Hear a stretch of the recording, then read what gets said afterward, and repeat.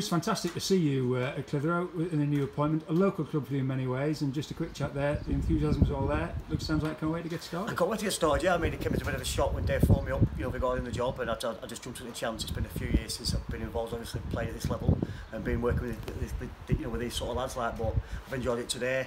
Um, I mean, I'm a, I'm a local lad I'm from Blackburn, so I'm only down the road, so it's an ideal location for me to play. But I'm just just looking forward to now, hopefully getting a start date, a, start date sooner rather than later for this sort of thing to happen. So. You've been at the top of the game, Chris. Obviously, England under 21, a, a really good professional career with some top clubs.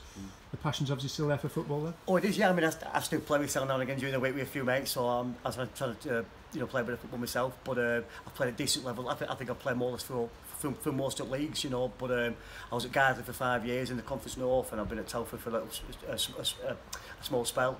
But uh, it's just nice to get back involved with, you know, with game, with, you know, someone like Dave who's, who's, who's passionate for the game and wants to, and wants to do well. And I, I'm just hoping I can help him out, uh, you know, along the way. Early days, of course, but it, it feels this summer as though the, the club at Clitheroe really to have a bit of a go at things, and is, is it a great uh, vibe about the place. It seems that way. I mean, like like like I say, I mean, a few friends of mine over the years have played down here, and looking at the club now and the players that we're bringing in, I mean, the standard's quite, you know, it's exceptional at this level. You know, I mean, I know a few lads from other clubs I've been at. Um, if we can get them to gel together, like I mean, I know at the moment, you know, we can't do too much football wise, but it'd be nice to get the balls out sooner rather than later and see how we go with that. But uh, on paper, we've got a great squad together. If we can get them keep keep keep them fit in the right times, you know, I mean, I, I think we've got a great chance of doing well.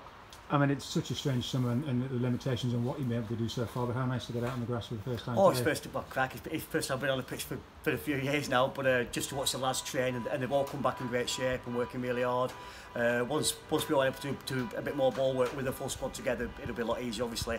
But yeah, it's, it's great to be back. I, I just hope things turn around quicker rather than you know later, because obviously most people in the country want the game to get back going again, and me, you know, I'm one of those. So. Mm. It's been tricky for the lads because a few new signings, but all sort of coming together for the first time today.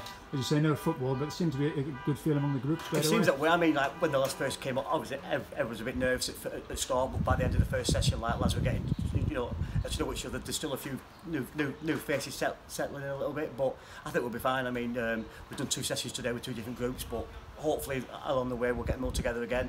And looking at on, on paper with the type of players you want, we've got lads who are experienced, some young lads, quick, pacey boys. So we've got a great blend of you know in the squad itself. So hopefully we'll be up there and fighting for the you know promotion places. Mm, no substitute for playing, of course, Chris, but how much are you looking forward to sitting in the dugout when, when match day comes around? I'm looking forward to it. I mean, me, me and have spoke more or less every other day, you know, about what, what he expects from me, what you know, what he wants. Um, obviously, Dave will be playing himself most of the time, or, you know, if he's doing the job right, and I'll be on the sideline, being his eyes and ears from this side, so it should work great. I mean, Dave's 30, he's 30 year old, he's you know, a young man, he's still got a great career. He's a great player, so he needs to play, but he needs someone to help him out from the sidelines, because obviously his game's important to himself, you know. So, but I'm looking forward to, to the start, and just, it's, it's just getting going now.